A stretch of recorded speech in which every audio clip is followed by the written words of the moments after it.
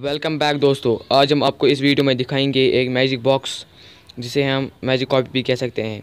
तो आज से आप अपने पैसे बचा सकते हैं, अपने बच्चों को ये मैजिक बॉक्स देकर, बगैर रफ़ की। इसको हम रफ़ के बदले भी यूज़ कर सकते हैं। ये छोटू बच्चों के लिए हैं।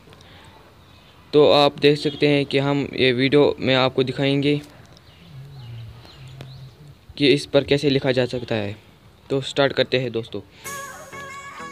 देखिए, ये कितना छोटा बॉक्स है।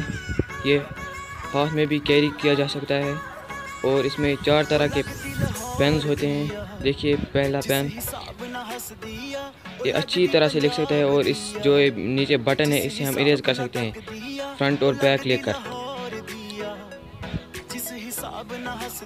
ये बिल्कुल ही मैजिक बॉक्स की तरह है।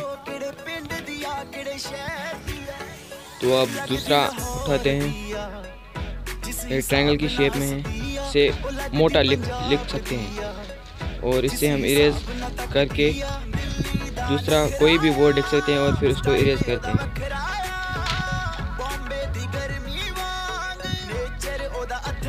देखिए ये दूसरा है। से मोटा लिख सकते हैं। और देखिए, ये भी एक बहुत ही अच्छा एक डिवाइस है।